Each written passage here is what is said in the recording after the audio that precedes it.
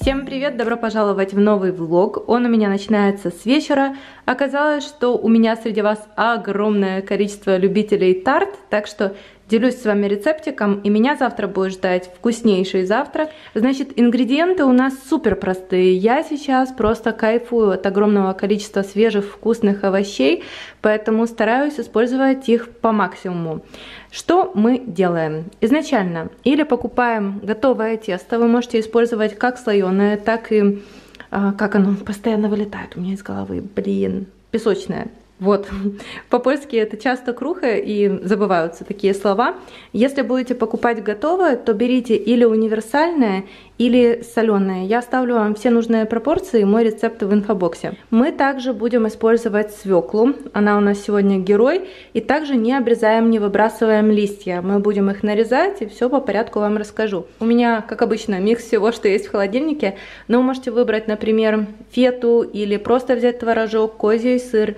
Все, что любите вы. Также нам понадобится 3 яйца, и сметана. Сметаны у меня, как назло, нет, но есть вот такой типа творожок а, кремовый, он пойдет в ход. Вроде как это все, беремся за работу, чистим нашу свеклу, нарезаем ее и тесто в это время кладем в холодильник минут так на 30. И так как и говорила, оставляем все, ничего не будем выбрасывать.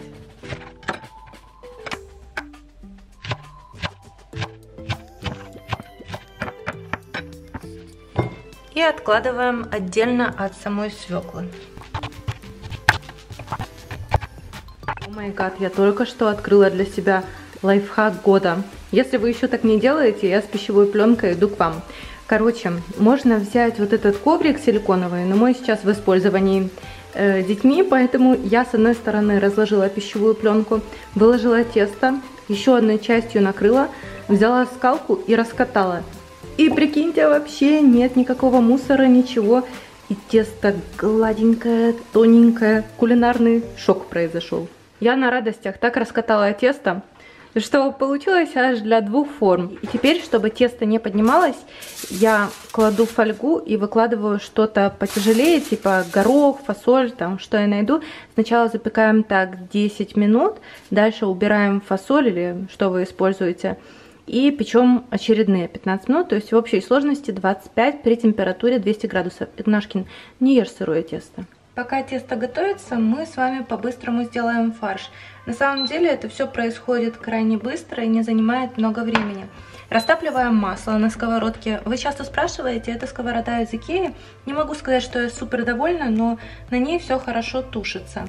А вот жарится лучше все-таки на классических тефлоновых сковородках. Для начала мы выкладываем саму свеклу сюда и поджариваем минуты 3 на таком среднем огне, не на маленьком. Теперь выкладываем листья и стебли, доливаем немножко воды и тушим это 10 минут. Два зубчика чеснока, чуть-чуть соли, творог, вот так руками разламываю около двух столовых ложек у меня. Не слишком много феты, какая-то она странная по консистенции. Три яйца, две столовые ложки сметаны, таких конкретных, перец. Когда тесто готово, видите, оно такое румяное. А, блин, горячая, случайно дотронулась. Выкладываем сначала свеклу и заливаем все и запекаем при температуре 200 градусов минут 35-40. Такого еще не было. Аромат стоит на всю кухню. Обязательно попробуйте такое сочетание. Я знаю, что многие любят безмясные блюда, и это бомбита. И я подумала, что даже лучше было бы э, смешать начинку и вылить одним махом, а не поочередно это делать. Ну, то есть сметану с яйцом и со свеклой. Тогда вообще будет классно. Я буду работать над формой, над формой подачи. Ну а так, обязательно пробуйте, все, кто любит овощи или не любит, но ищет какие-то классные рецепты. Я думаю, что не только вы, но и ваши домашние оценят. Шопинг-влог, как видите, не прошел даром. Обещала показать вам, что же я приобрела в конечном итоге. Это, кстати, и заказы из разных мест, и то, что я купила в стационарных магазинах. Я знаю, что вы любите всякие новиночки, Поехали! Наконец-то в продажу снова поступила моя любимая эссенция от марки Миша. Я нашла вот такой какой-то юбилейный набор на iHerb, то есть в цене одной эссенции, у меня вот это мост, а шла еще и это не сыворотка, что это? Типа мист, наверное, как тоник увлажняющий в довольно большом формате. Еще в наборе есть такие диски для очищения лица. Пока что не вскрывала, жду, когда закончится актуальный открытый уход. И взяла еще вот эти наши любимые пасты. Они очень мятные, они очень освежающие. И почувствую разницу. Одно время у нас их не было, пользовались чем-то другим. Я поняла, что нет, нужно это купить. И знаете еще, что я нашла? Так как я аллергик, и иногда у меня настолько красные глаза, что это просто ужас. И японские капли рухта советуют очень-очень многие. Они с таким освежающим как бы финишем, если можно так сказать. То есть очень сильно чувствуется мята в глазах, но к этому привыкаешь. И я вот периодически их покупаю себе для того, чтобы убирать вот эту красноту глаз и неприятное ощущение как бы жжения в глазах. Если для вас это тоже актуально, я знаю, что часто визажисты ими пользуются, тоже на iHerb беру. По моим восторженным отзывам из примерочной вы уже могли догадаться, что без брюк я однозначно не выйду. Но при выходе я подметила э, жакет в таком же цвете, они даже мнутся одинаково, поэтому можно сказать, что это костюм. По цвету они абсолютно одинаковые. И вчера я уже надевала эти брюки со своим жакетом в цвете хаки и с черным топом. А сегодня на мне топ, э, который я покупала, о господи, я даже не помню когда, типа как такая вязка крючком. А, надеюсь, что он не растянется. И мне очень нравится, как это выглядит вместе, еще по отдельности можно носить с другими цветами. Также взяла сумку. Это старая сумка из Massimo Dutti, она кожаная, до сих пор как новая. Я не могу сказать, что я прям каждый день с ней хожу, но вот сколько бы я ее не носила, она до сих пор в хорошем состоянии. Так что угу. очень такой красивый, благородный оттенок черного шоколада в сочетании с бежем. И здесь вот еще потемнее цвет, то есть она не затирается. А, Все с ней хорошо, и форма очень удачная, типа как Селин. Но Селин я, наверное, никогда себе не позволю. Шлепанцы вы видели, тоже стояли в примерочной. Я почему-то вырезала момент, когда я их примеряла. Исправляюсь, простите меня. А, красивый тоже такой шоколадный оттенок. А, очень хорошо смотрится и с бежем, с чем угодно. Это для меня базовый цвет.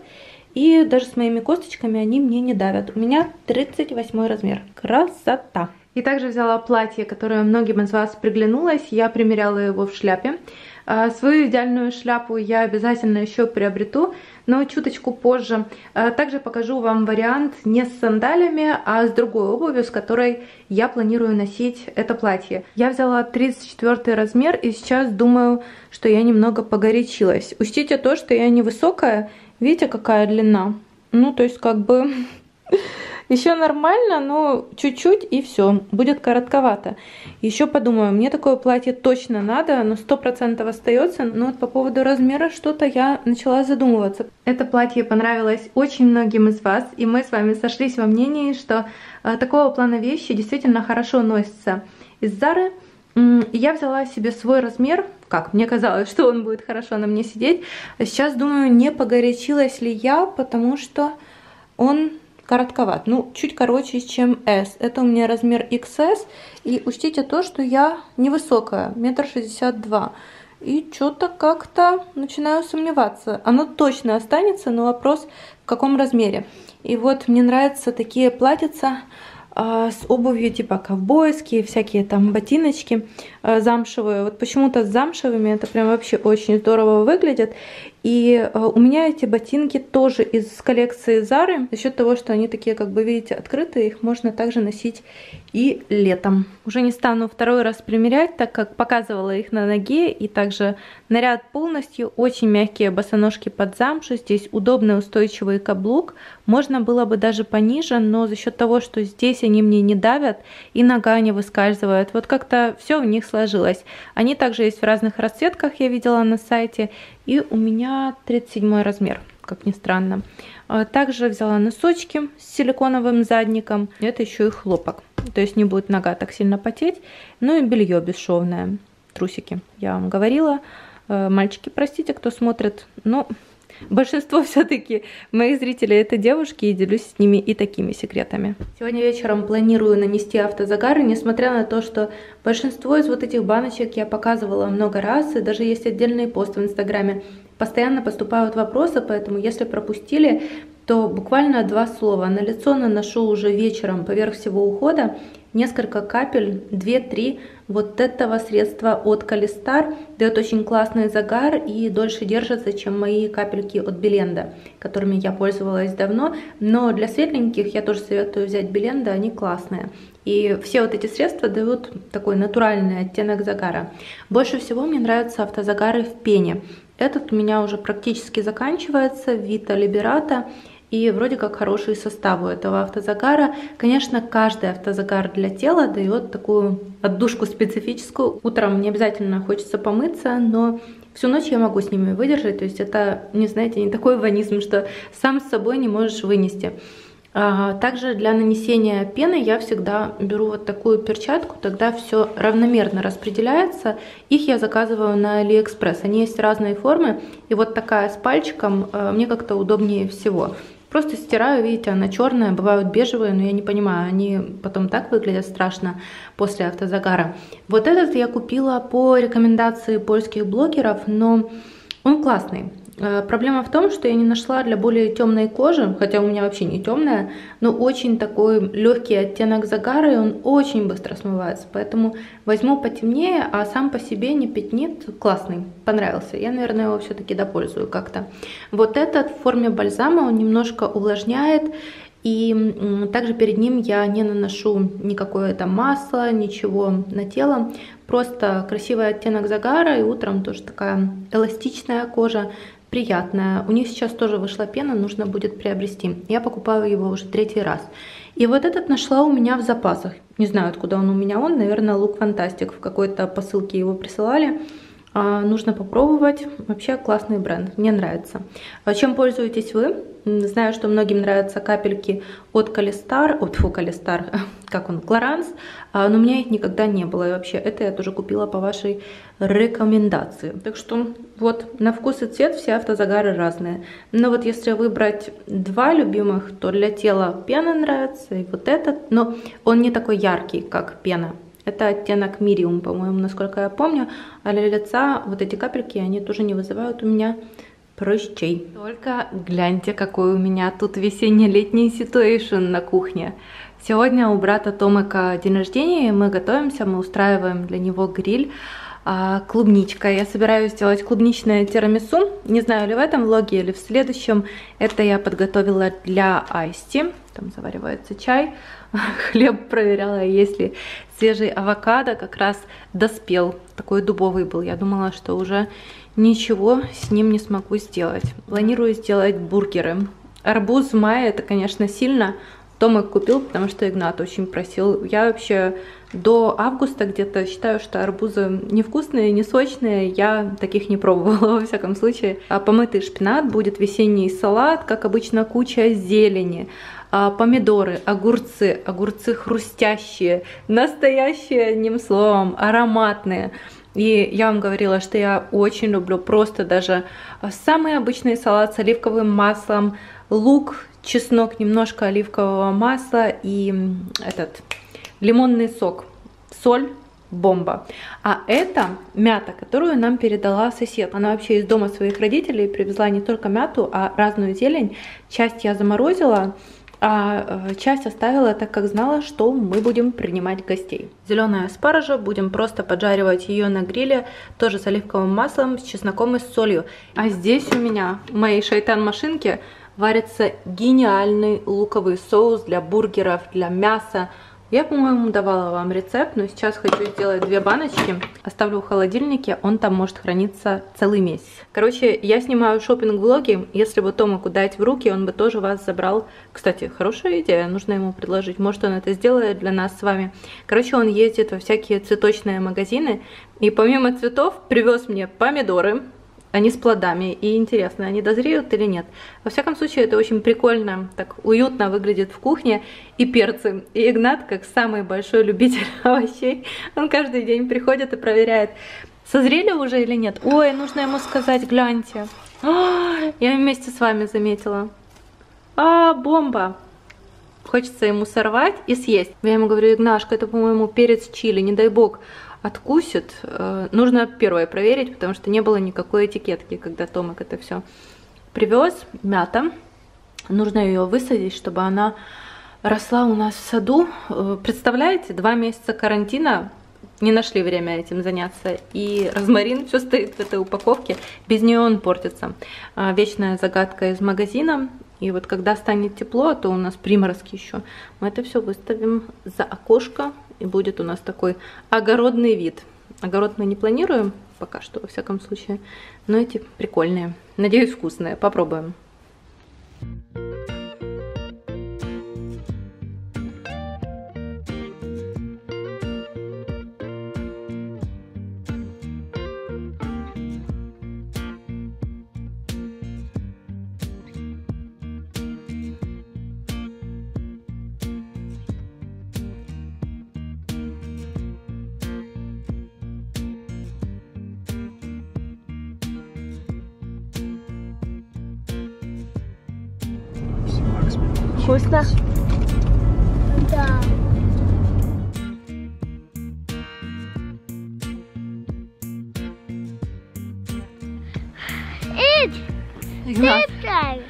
Игнат на прогул. Я тебе дам быстрее.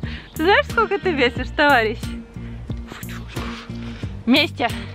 Всегда вместе. Отдыхайся! Вообще-то я сегодня не планировала снимать влог, но мы забрались так высоко.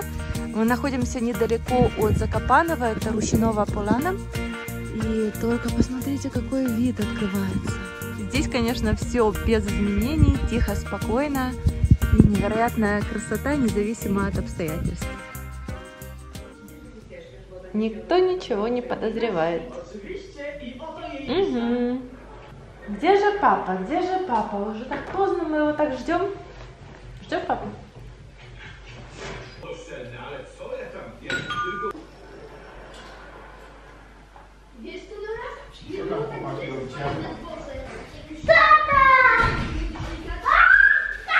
Cicho, nie krzyczcie, nie krzyczcie, bo ona się może bać. Nie krzyczcie.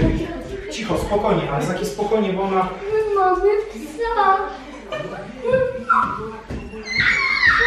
Cicho, cicho, cicho. Ale nie, nie, nie krzyczcie, nie... ja wiem, że się chcecie cieszyć, ale ona... Ona trochę przeszła, wiecie, bo ją zabrali źli ludzie na dwa dni, chcieli ją oddać i ona jest w ogóle w szoku. Ona też jeździła autem z jednego końca Polski.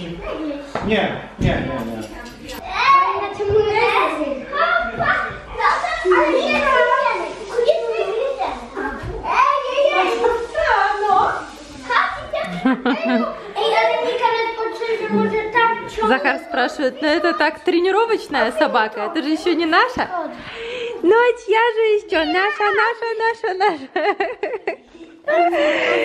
Ой, кнопка ты. Ну что, прошла уже неделя, пора бы что-то сказать, рассказать вам нашу историю.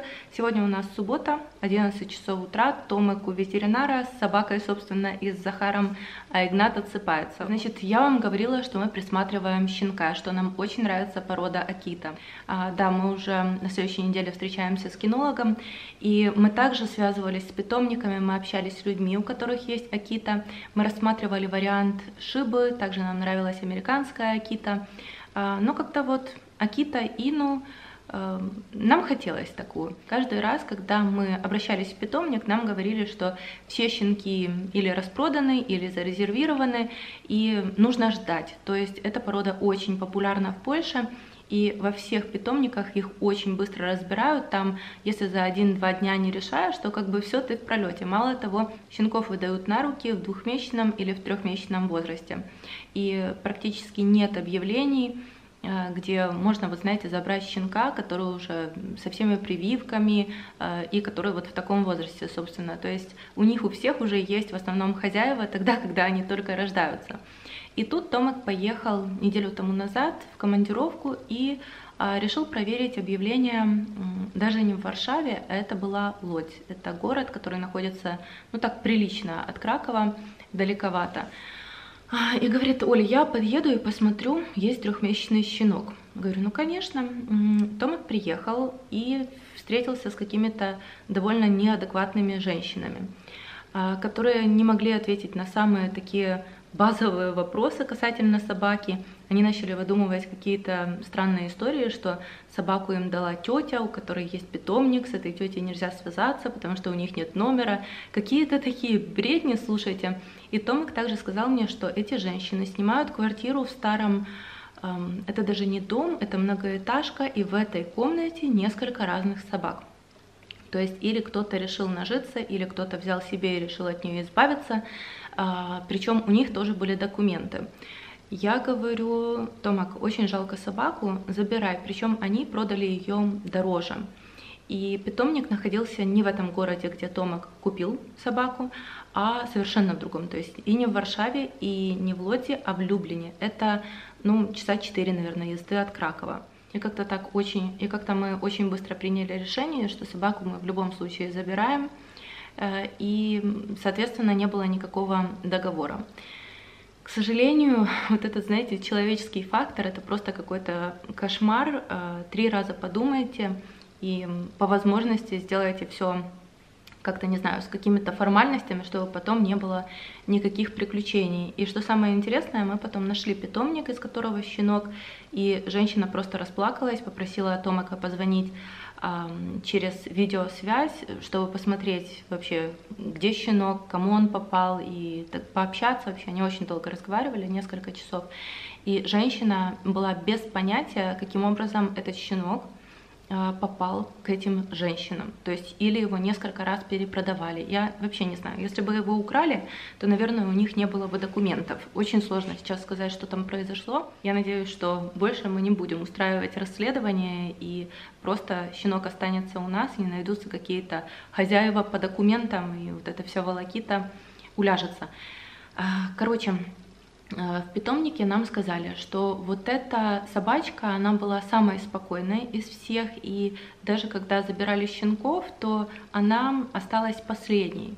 Э, и к ней уже даже вот эти люди из питомника успели привязаться, говорят, что она такая Соня, что она активная, что она полностью здоровая, просто даже для Акиты она очень какая-то такая ласковая, очень спокойная просто. А, вот, и женщина сказала, что если мы, не дай бог, там передумаем, что вообще исключено, и также ни у кого нет аллергии. А в Инстаграме некоторые подумали, что аллергия, нет, просто, как видите, собачка прошла довольно сложный путь, но все хорошо, мы очень хотели собаку, и видите, так получилось, что еще и такая порода, как нам хотелось бы, но я даже не подозревала, что есть такие проблемы, а, что вот так вот поступают с щенками, представляете, с малышами. И, а, значит, Томак посадил собаку в машину на переднее сиденье, и она а, пять часов, наверное, где-то с ним ехала. Вот так потихоньку, с перерывами. Она спит всю ночь, она, ну, меньше ест, чем обычно. Ну, у собаки стресс, это понятно, но она очень игривая, ее нужно воспитывать, и она особо даже не написала дома, мы ее выводим очень быстро, учатся, даже получаются команды спустя неделю сидеть и так далее. В общем, мы очень-очень рады. И мы не брали собаку детям, а брали собаку в семью. И каждый теперь несет ответственность за того, кого мы приручили. И эта собачка по паспорту Мика, и мы решили ничего не менять. У собаки уже было довольно много разных перемен, поэтому мы не станем ее как-то по-другому называть. Какая разница? Как оказалось, у них очень породистые родители с большой родословной. Мы не покупали родословную, за тысячу злотых можно было докупить. Но, честно говоря, не знаю, ну будет у меня бумажка, что с этого. Ну, просто из питомника нам рассказывали, сказали, что есть возможность докупить еще и родовод. Причем люди с опытом, питомник не новый, и вот такое приключилось. А женщина из питомника говорит, если, если вдруг что, то мы даже вернем вам деньги, которые вы заплатили за щенка. Отдайте его нам. Просто настолько распереживалась. Это как ее ребенок, да, и ты узнаешь, что у него такая судьба. Мы говорим нет, но мы постоянно общаемся, то есть все какие-то вопросы консультируем. И также по поводу воспитания женщина сказала, что мы можем по скайпу проводить какие-то консультации, так что мы не одни. Если у вас также есть такая порода, то поделитесь, как у вас с воспитанием, как у вас с дисциплиной. Да, это собака, которой нужна дисциплина, она не маленькая. А, сейчас, понятное дело, это щенок, но она такая, знаете, конкретная. Когда Томик ее привез, я даже обалдела, что она настолько большая. А, казалось бы, трехмесячный щенок, да. А, спит она сейчас уже просто между этажами, ей так нравится. Мы еще даже не успели купить лежанку, а, а так она с удовольствием спала бы рядом с кроватью, где я. То есть если я там где-то читаю кому-то из детей сказку на ночь, мы с Томиком обычно разделяемся, меняемся, да. Раз я Игнату читаю Разон, а, то она всегда лежит там, где я. Также пока я снимаю видео, вот последний ролик, который вышел, а, она часа три, наверное, проспала рядом со мной, пока я все снимала. И у меня очень-очень чувствительный микрофон, он бы записал все, но была тотальная тишина. Посмотрим, какой у нее будет характер, когда она вырастет, потому что щенок это одно, а взрослая собака это немножечко другое дело. Но до года мы готовы к тому, даже, ну как, не до года, а вообще, что бы она ни делала, тут придется принимать, потому что это собака, и если ей не заниматься, она найдет себе занятие и сожрет все, что находится в поле ее зрения. А, за собакой нужно следить. И я не буду истериковать и не буду паниковать, если она съест мои туфли или сгрызет диван. У нее есть на это право, это щенок. И вообще, мне кажется, что нужно быть готовым к потерям, если ты э, приводишь в дом собаку. Э, всем детишкам здесь на улице она очень нравится, поэтому всю неделю у нас дома были дети, они э, выводят ее здесь на прогулку. Они также с ней играются, но она очень быстро устает и много спит.